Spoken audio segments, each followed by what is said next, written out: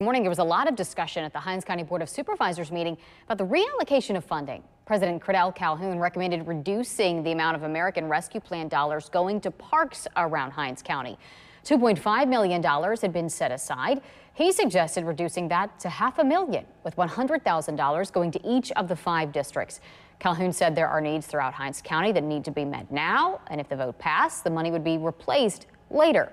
Supervisors Robert Graham and David Archie disagreed with taking money from parks, saying equipment had already been chosen and work was ready to begin.